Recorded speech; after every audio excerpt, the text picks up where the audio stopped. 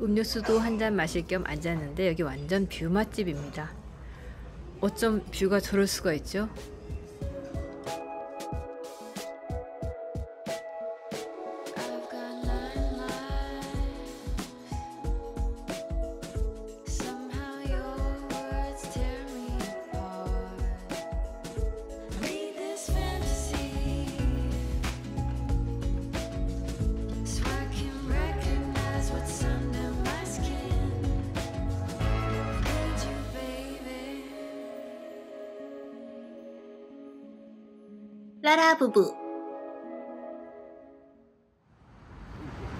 Good morning입니다. 오늘 날씨가 오전에는 잔뜩 흐렸는데요. 다행히 비 소식은 없어요. 오늘 하루도 열심히 부다페스트를 다녀보겠습니다. 출발! 아침에 성 이스트반 대성당. 오후에는 굉장히 많은 관광객들로 붐볐는데요. 아무래도 오전이라 조용합니다. 오늘은 walking tour 하듯이 여기서부터 Parliament까지 걸어서 한번 가보려고 합니다. 부다페스트에도 스타벅스 커피가 여러 곳 보이는데요.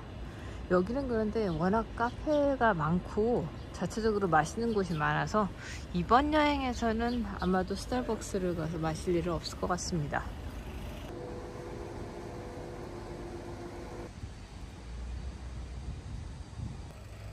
거리 풍경이 멋져서 걸어오면서 하나도 지루하지가 않네요.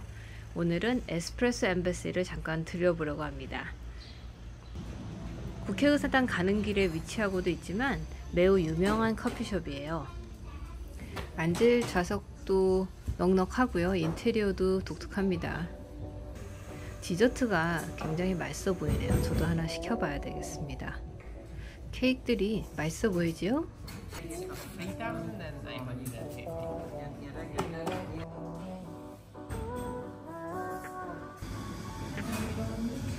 콜타도랑 카푸치노 하나 그리고 케이크 한 슬라이스 해서 토탈 3,950포인트 냈습니다. 가격도 참 괜찮죠?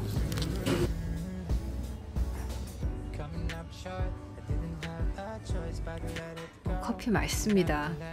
그리고 케이크도 아주 진하고 잘 만들었습니다. 이 가격에 이런 quality 꼭 가보실만 합니다. 원두 커피도 판매를 하고 있어서 기념품으로 사가실 수도 있고요. 어쨌든 맛이 좋은 커피숍이라 추천드리고 싶습니다.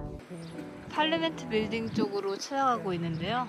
멀리 마차시 성당이 보입니다.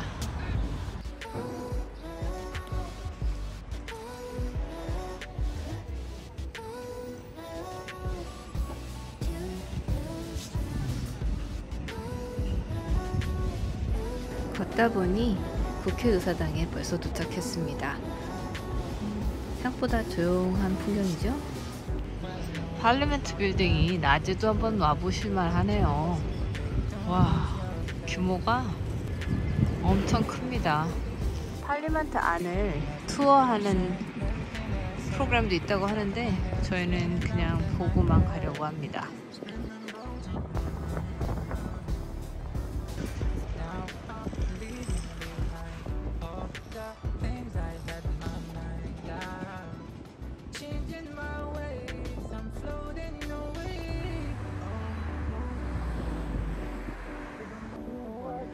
야경도 물론 제일 멋진 곳이기도 하지만 이 국회의사당을 낮에 보시는 것도 시간이 되시면 추천드리고 싶습니다.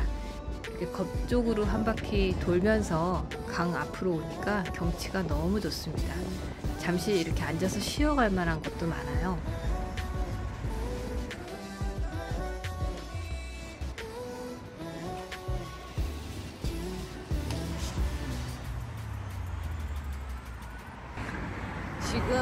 만한 유명한 곳은 식사 시간 딱 맞춰서 오면 너무 사람이 많아서 조금 일찍 왔습니다. 자리가 넉넉하네요. 레트럴 랑고스. 이 집은 랑고스 랭킹 탑들이 항상 나오는 집이에요. 지난번 먹었던 곳이 워낙 마음에 안 들어서 예, 이 집을 꼭 와보고 싶었습니다. 들어가 볼까요? 이곳은 굉장히 캐주얼한 식당이고요. 이제 먼저 오더를 한 다음에 음식을 받아서 이제 좌석을 잡는데 어, 랑구스가 크기가 꽤 큽니다. 그래서 저희는 하나만 시키고 팬케이크 하나 시켜서 나눠 먹어보려 합니다. Hi.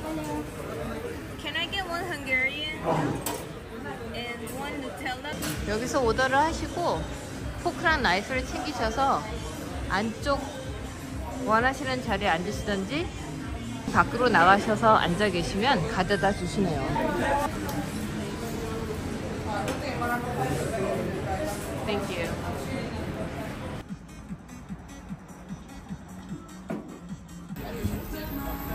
큽니다.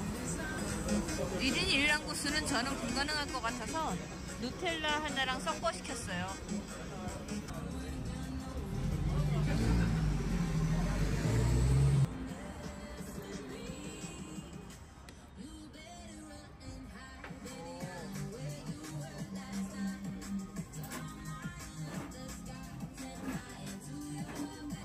랑구스 생각했던 것보다 아주 맛있습니다. 첫날 먹었던 집이랑은 비교를 할 수가 없어요. 이 집이 좀 제대로 한 집이라 그런지 크러스트도 좀 쫄깃쫄깃하고 약간 튀긴 거라 느끼한 것은 어쩔 수 없습니다. 양이 좀 많아요. 저희는 다 먹기는 포기했고요. 예, 어느 정도 먹고 가는데 잘 먹고 갑니다. 부다페스트 여행에서 랑구스를 한 번만 먹는다면 저는 이 집을 가보시라고 할 것 같습니다. 성 이슈트반 성당에 왔습니다.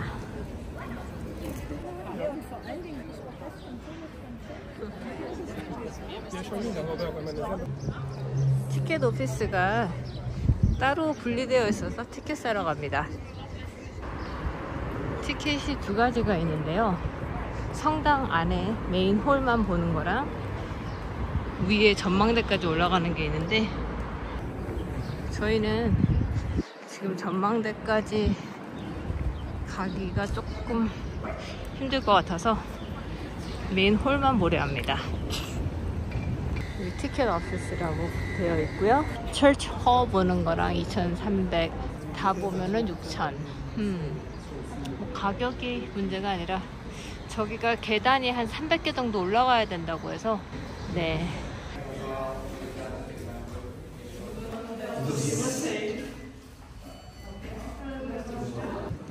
샀습니다. 어서 들어가 볼까요?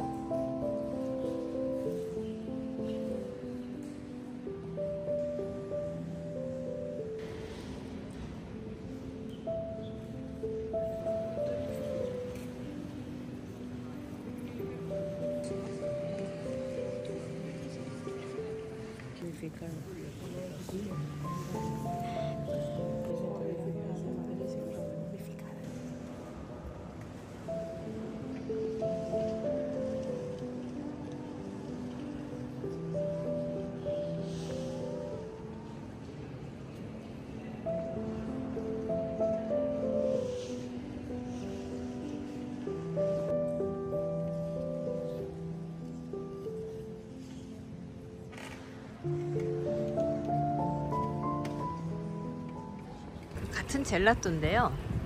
컵에다가도 담아 주십니다. 다만 컵에, 컵에다 담으면 그 예쁜 꽃 모양이 안 돼서 그렇긴 한데 더운 여름에는 컵이 훨씬 나으실 것 같아요. 지난번 먹는데 어, 굉장히 빠르게 녹더라고요. 잘 먹겠습니다. 당 충전도 했으니까 다시 한번 힘내서 걸어 다녀 보겠습니다. 예쁜 곳이 참 많습니다. 그런데 지금 비수기라서 그런지 가는 곳마다 이렇게 막 너무 복잡한 게 안 보이시죠? 저희도 그게 좀 좋은 것 같아요. 부다페스트의 이 봄이 날씨가 그렇게 비가 자주 오는 것 같지도 않고 온천하기도 괜찮고 꽃도 이렇게 피어서 참 예쁩니다. 어? 걷다 보니까 은커피 들어오나 봐요. 부다페스트에. 이런 거리를 걷다 보면 약간 맨하탄 소호거리 느낌 나는 데도 있고요. 동유럽이기도 하지만 사실 그 헝가리 분들이 좀 딱딱하다, 뭐잘 웃지 않는다, 뭐 그런 편견을 많이 가지고 왔는데 영어도 잘하시고 그리고 물론 표정으로는 사실 LA만큼 웃지는 않으세요. 하지만 굉장히 또 뭔가 물어보거나 그랬을 때 친절하게 도와주시려고 하시고 좋습니다.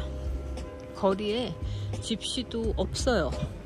저희는 지금 최근 다닌 유럽 중에서 조금 굉장히 마음을 내려놓고 있는데요. 아, 여기는 택시를 조심하셔야 합니다. 택시가 저희가 촬영을 해왔는데 freelance라고 쓰여져 있는 택시는 절대 타시, 타시면 안 돼요. freelance라고 쓰여져 있는 택시는 타시면 안 되고 이거는 여기 로컬 분들도 다 같은 말씀을 하세요. 프리랜스 택시는 아무래도 미터기 조작이라든지 아니면 뭐 뱅글뱅글 더 돈다든지 좀 문제가 있다고 하시고요.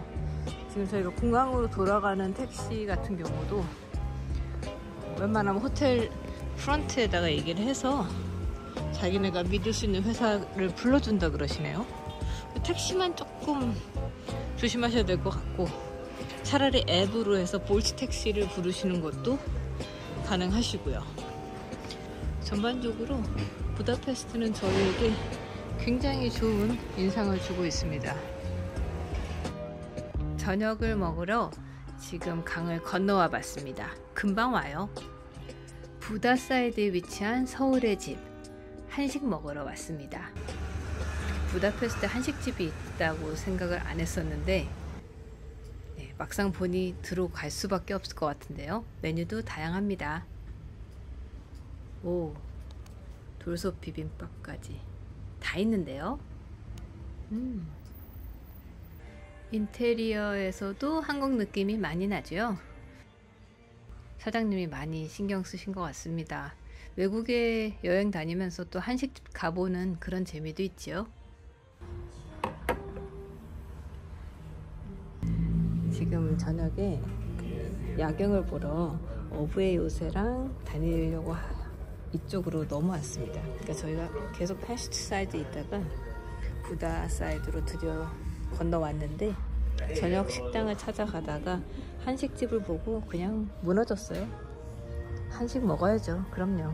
지금 나흘 됐는데 저희 유튜브 보신 분들은 아시겠지만 저희가 해외 나가서 한식 거의 안 먹습니다. 근데 네, 헝가리에서는 한번 먹고 싶네요.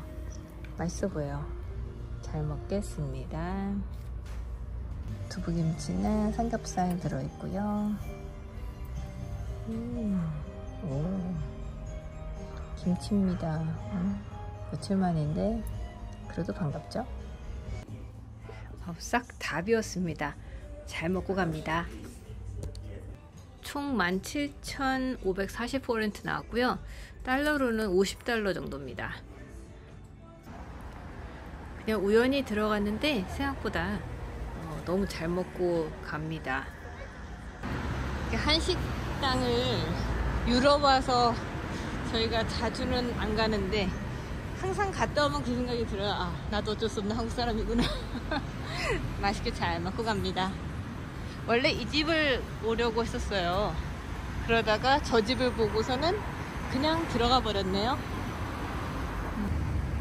퍼니큘라를 타고 어부의 유세를 올라가서 해지는 부다페스트를 한번 같이 감상해 보실까요?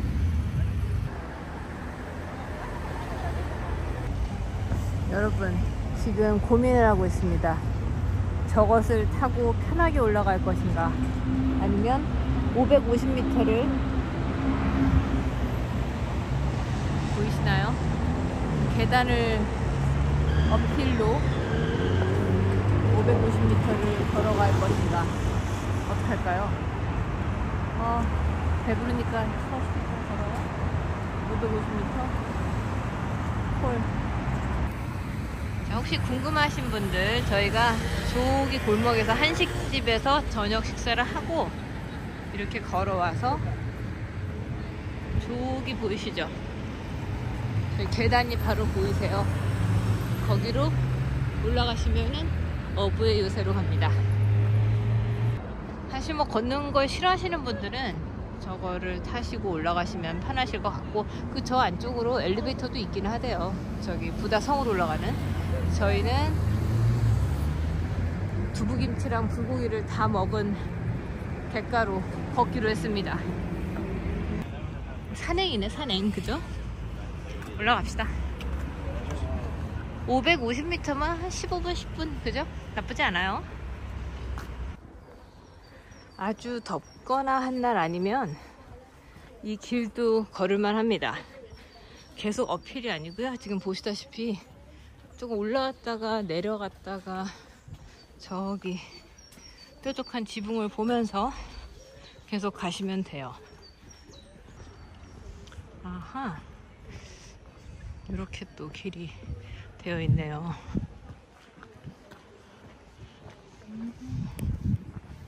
부다페스트가 참 매력적인 도시 같아요.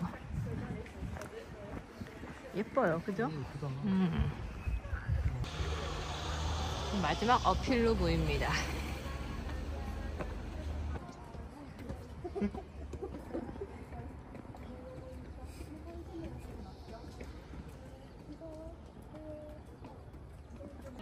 자, 거의 다 왔습니다. 더운 여름에는 비추고요. 선선하실 때는 강추합니다. 입구가 마치 아, 우리 성에 잠깐 가볼까? 약간 그런 느낌? 저 유럽엔 이런 성 하나쯤은 있어야죠. 가쁜 상황극 하게 됩니다. 너무 저녁을 많이 먹었나 봐요.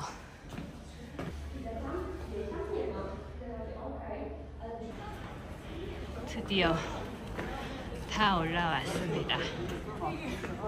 음, 돈도 아끼고 운동도 되고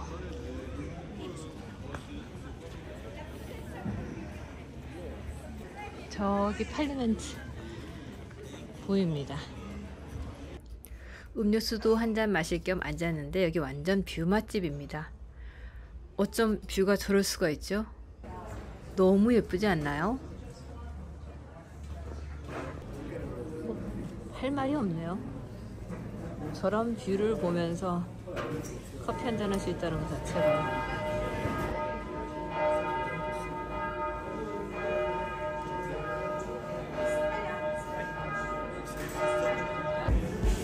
해 지기 조금 전인데요. 저희도 지금 기다리고 있으면서 시타 때문에 너무 졸려서 정신이 들어왔다 나갔다 합니다. 유럽 쪽 여행은 특히나 더 힘든 것 같아요. 시차 때문에. 혹시 나만의 시차를 이기는 방법 그런 거 있으신 분들 있으시면 댓글에 남겨주세요. 좋은 건 함께 해야죠.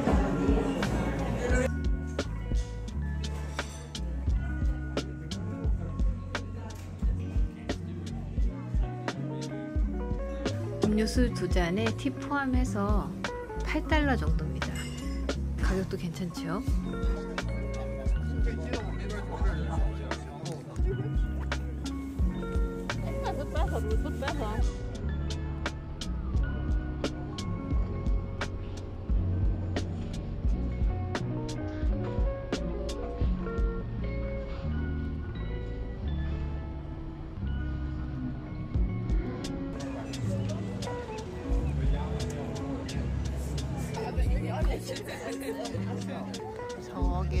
포토 스팟입니다. 조금 강변으로 내려가서 조금 더 팔리멘트 빌딩과 정면으로 마주보는 포토 스팟 쪽으로 한번 걸어가 보려 합니다. 뭔가 살짝 아쉬워서 어부의 요새를 다시 한번 쳐다봤는데 불빛이 이렇게 환하게 켜져서 여기도 참 예쁘네요. 어부의 요새에서 걸어서 내려가는 길입니다. 너무 조용하고 어둑어둑하긴 한데 그래도 아직 시간이 8시 정도고 워낙 저 위에 지금 사진, 사진 찍으려고 계신 분들이 많아요. 아마 다 한꺼번에 내려올 것 같은.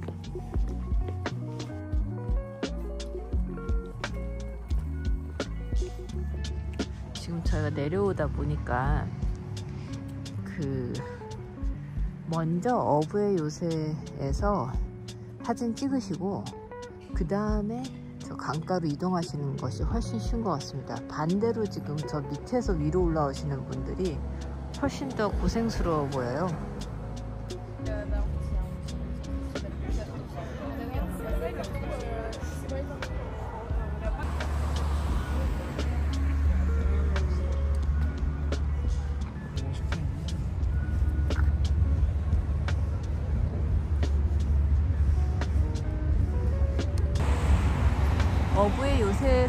내려다보는 뷰도 멋있지만 이렇게 정면에서 가까이 보는 게 훨씬 더 예쁜데요, 저는.